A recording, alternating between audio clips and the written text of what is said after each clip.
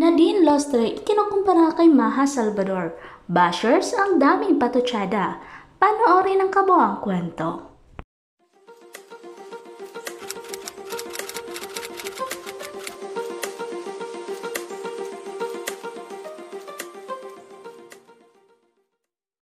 Hello guys! Welcome back to my channel. Chika naman tayo today. Agaw pansin ang post ni Nadine sa kanyang Instagram account kamakailan dahil sa kasama niya sa larawan. Mayroon kasi siyang collaboration si Nadine at kapwa actress na si Maha Salvador para sa latest swimwear collection ng isang kilalang international clothing line.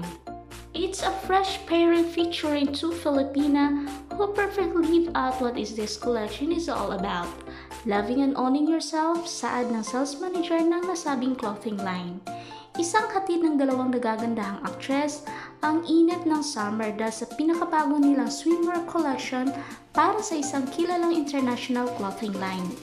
At yes, agaw pansin online ang mga naglipa ng litrato at video ni Nadine Lostri at Maha Salvador para sa latest swim collection ng clothing line na H&M.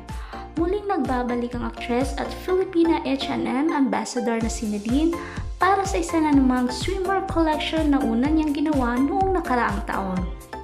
Ngunit, kasama naman niya ngayon sa taon na swimwear collection ng isa na namang Filipina H&M ambassador, actress, singer at dancer na si Maha Salvador.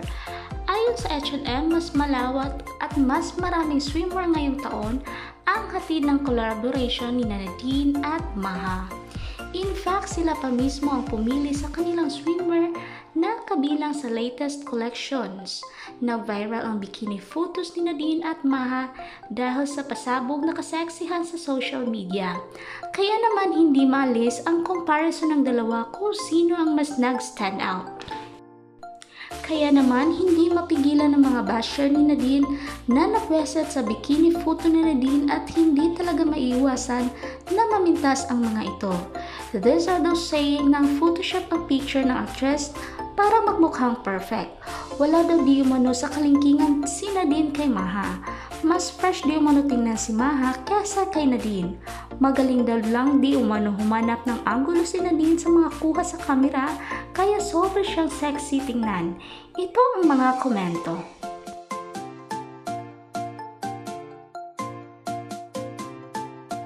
At yes, agad namang dumepensa ang mga supporters at fans ni Nadine.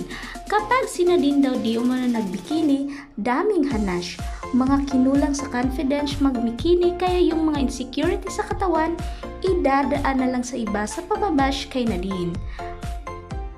Kayo guys, ano masasabi niyo tungkol dito? Just comment your reaction below. And to more updates, huwag kalimutang mag-subscribe sa aking channel, i-click ang bell icon para ma-notify kayo sa aking latest chika. Maraming salamat po sa panunood.